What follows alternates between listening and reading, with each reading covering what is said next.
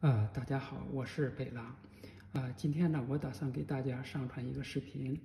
啊，这个视频呢是关于一个煮鸡蛋的视频。啊，这是我几个月以前拍的。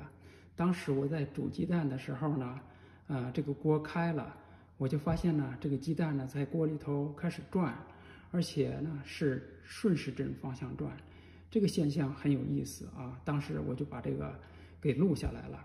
啊，所以呢。嗯，希望把这个录像给大家看。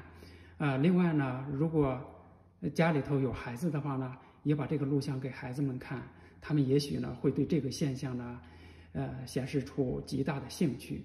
呃，另外呢，就是希望大家在评论区里头评论一下，啊，为什么这个煮鸡蛋会在锅里头转，而且是为什么这个鸡蛋呢会顺时针方向转？好，谢谢大家。Hello, it's Beilang here. Today I want to upload a video. The video is about boiling eggs.